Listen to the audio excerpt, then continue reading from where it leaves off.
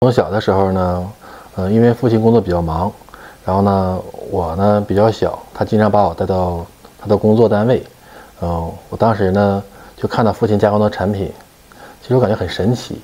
他一开始的时候是加工，他是干车床的，就一个个的棒子通过他加工以后，变成一个很光滑亮丽的一个产品。后来呢，他带我去的时候，我看到他加工的是是他使用的是加工中心，通过机械手呢自动化。然后把一个放在里面，放在里面的一个毛配料加工出来一个呃产品。我当时问他父亲，我说你加工的这么神奇，这加工的是什么？父亲说这都是飞机的零部件。我说飞机的零部件，这都是飞机哪一块零件？我记得有一次，父亲指着飞机就告诉我，他加工的时候呢，就是天上飞的直升机是有起落架还有旋翼的零部件。我当时就感觉父亲好伟大，我也要像父亲一样，以后呢也生产直升机。我十九岁呢，就进入了飞机加工厂。当时呢，主要负责飞机的升力系统和起落架系统的零部件生产。嗯，虽然感觉都是加工生产，但是飞机的零部件关系到飞机的性能和驾驶员的安全，所以我当时就会为这零点零一毫米去较劲和认真。因为只要超差零点零一毫米，产品就必须要报废的。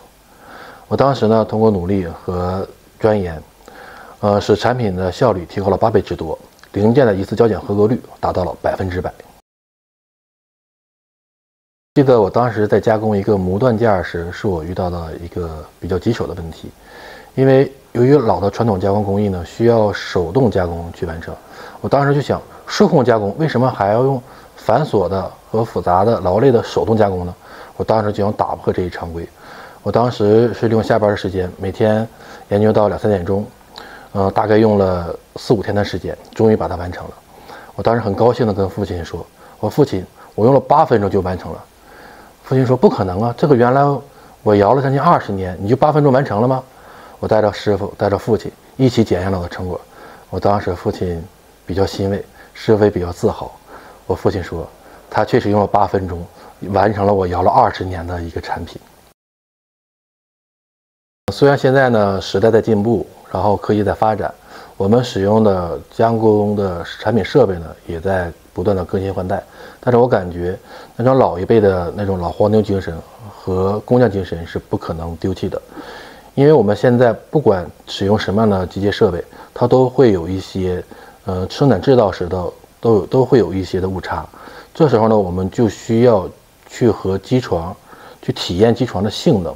然后包括刀具也是一样，我们需要体，我们需要是把刀具的参数、合理性参数运用到最好，然后机床的性能，还有我们加工的材料、加工的材质，这些我们都需要融会贯通在一起，我们才能达到最高的标准。所以说，呃，光会使用零，光会使用机床是不行的，我们一定要达到人机合一的状态，才能把一个好的产品加工出来。